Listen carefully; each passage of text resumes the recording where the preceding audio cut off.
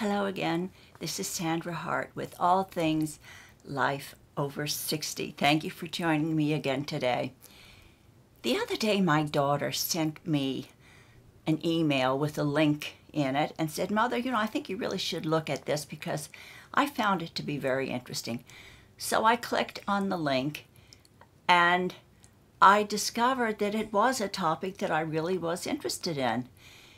It was basically talking about actresses over 60 and what they all had in common. So I started doing a lot of research on these actresses and I found out some very interesting things and they really do have a lot in common with us ordinary women. Out of a list of quite a few actresses over 60, I chose 20 and I divided them into two different categories, basically because I am so interested in natural aging.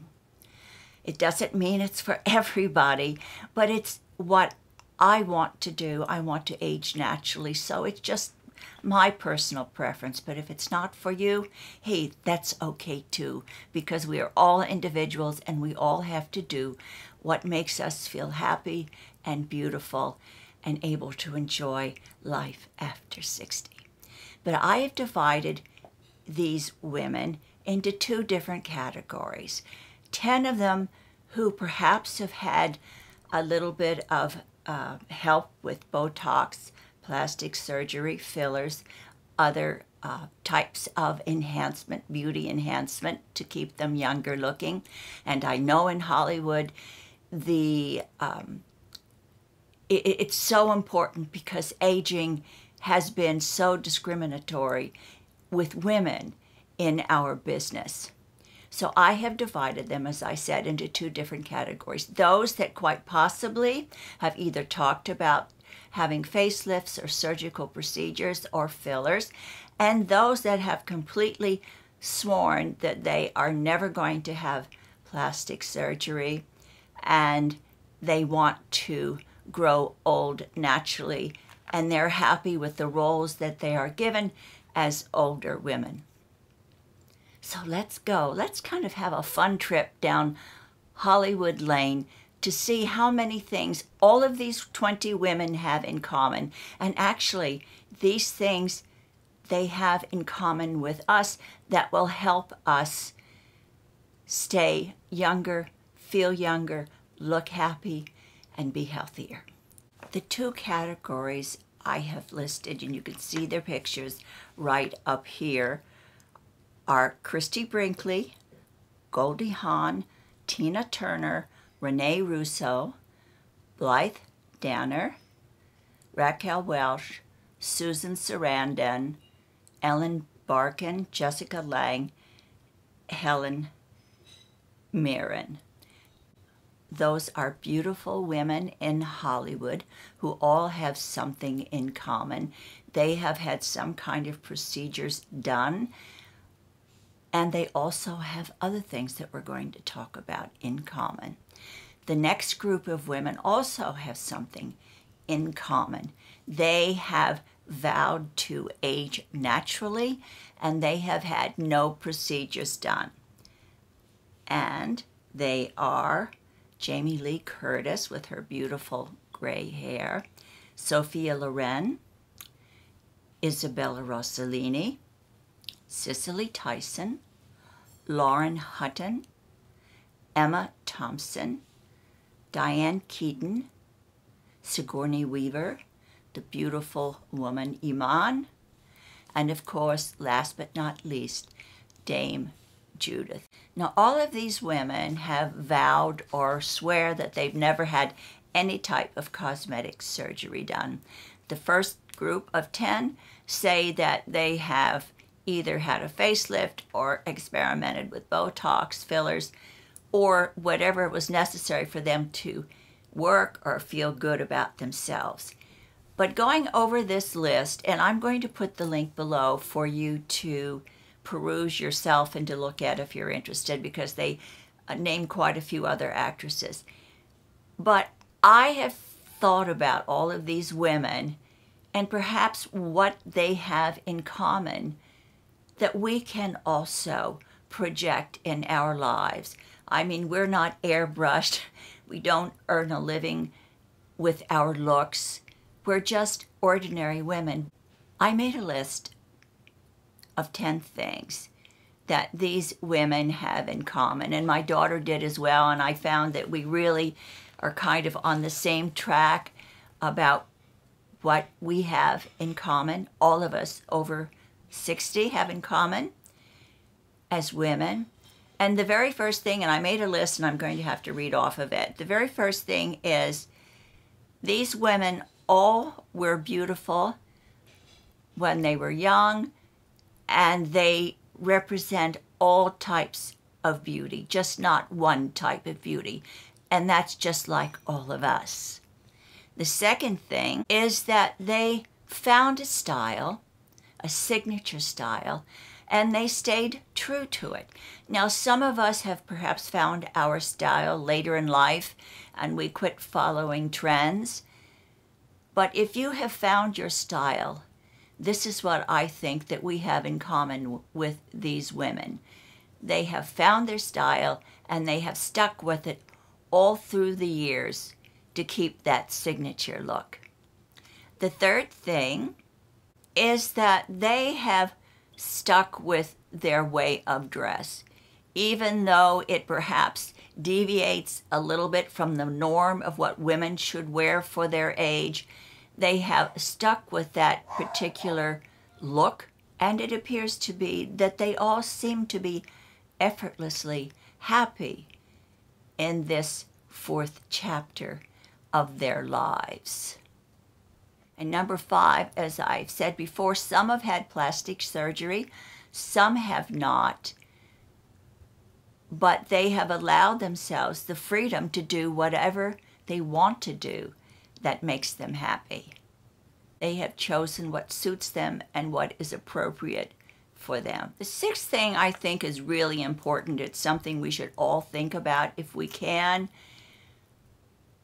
Try to keep the figure that was best for you in your lifetime, whether it was thin, whether it was curvy and round, but try not to deviate too much from the weight that's comfortable for you, whatever that may be. I know that I have really worked very hard all of my life, except especially through the menopause years when I gained, I think, about 20 pounds, but I really couldn't help it. And once I went through menopause, you know, the weight dropped off and I came back to what I normally weigh. And I'm very comfortable now with that. But sometimes we are either taking medicine or we have circumstances where we have to put on a little bit of weight.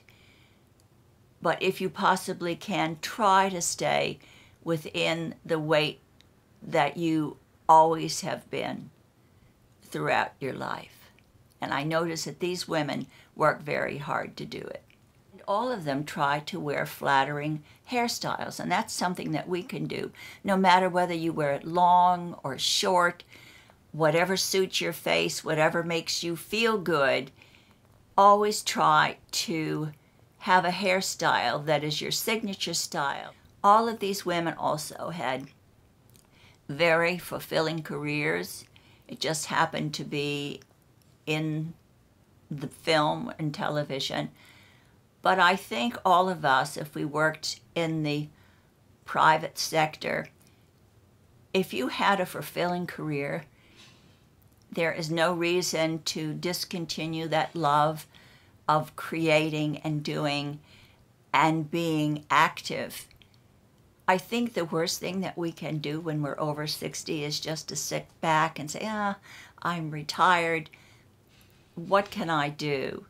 I think if you always are creative and you fill your life with important things that you love, whether it's volunteering or doing a YouTube channel or helping others or just reinventing yourself, and I've talked about this so many times, I know you're tired of hearing it, but pick up another skill, something that you've always wanted to do.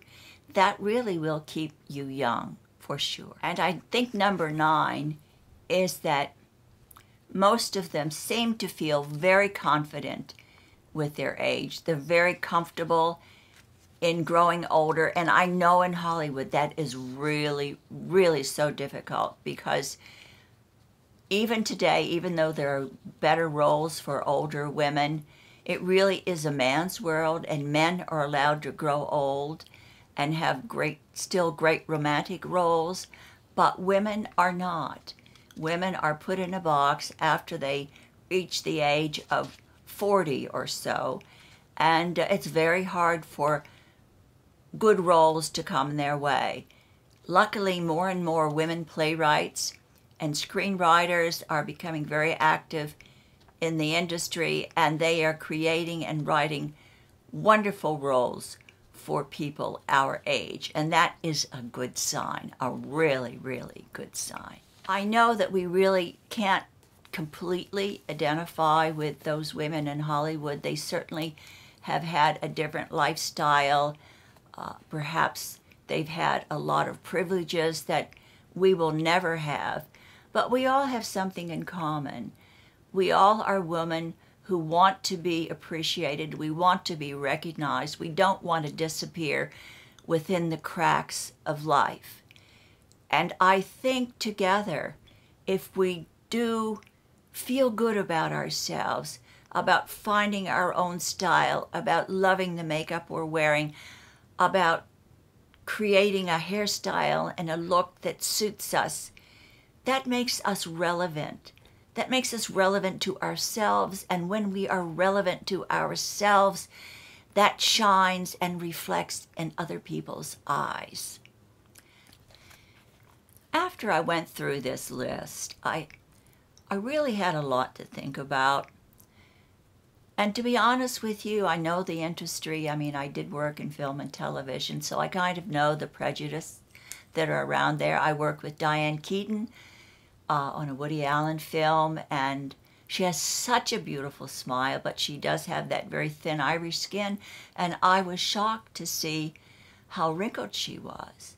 But her light and her personality just shone through from within, and she became very beautiful. And look, she has been in so many movies. She's been a representative of a cosmetic company. That is just one example of how our inner beauty does make us all beautiful, no matter how old we are, no matter whether our skin has been damaged a little bit by the sun, no matter what circumstances we have, if we have that inner beauty, and I am so, so convinced of this, if you have that inner beauty, it shines through and you are truly beautiful in the eyes of the beholder. And I that is true. I believe it from the bottom of my heart, and I have personally seen it. So forget all of the, the, the physical stuff, the, the superficial things about ourselves. If we can be true to ourselves and take care of our health and take care of trying to look as well as we can, and I champion all of the YouTube creators that are in the talent teaching us about makeup and teaching us about skincare. I applaud them because the more you can do to feel good about yourself, the younger you will feel inside. And if you feel young inside, you are going to be young. No doubt about it. Thank you for joining me for this kind of offbeat video today, but it was an interesting link and I said I'll put it down below. If you like this video and you're not a subscriber, please subscribe. I love having you come along with me on this journey of mine. I'm all over the place with all types of content. But I am with you. I am part of your group. I'm over 60 and I want to make the best of every single day of my life. Thank you. Give me a thumbs up if you feel like it.